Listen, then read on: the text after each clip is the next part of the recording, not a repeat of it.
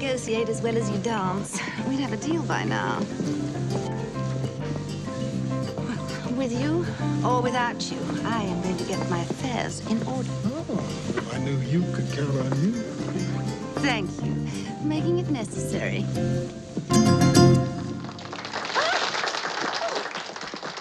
Oh, whoops.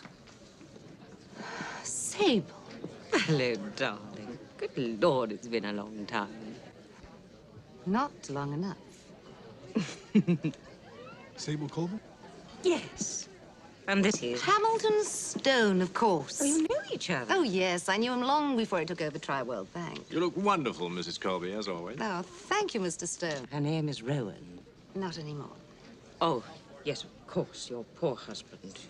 I see you're grief-stricken. Yes, I understand that you lost your husband, too. Traded you in for your sister, didn't he? Should I be sorry about your husband? Oh, no, he was sorry enough without having anybody else's help. And you must be the one who shot him. well, death is a simpler solution than divorce.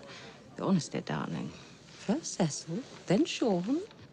I understand why you're not on the dance floor, Sable. You might trip over your tongue. Uh, excuse me, ladies. Dex Dexter. Pleasure. Hamilton, do you rumba? Never. Oh, good. Darling, why don't you uh, keep Sable occupied for a while? The tangled web we weave. Shall we have a glass of champagne? You might.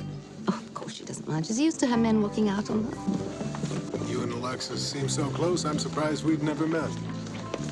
And which of her trained puppies were you? Would you care to dance? With any luck, it'll be too noisy to talk. Ooh. I think I touched a nerve.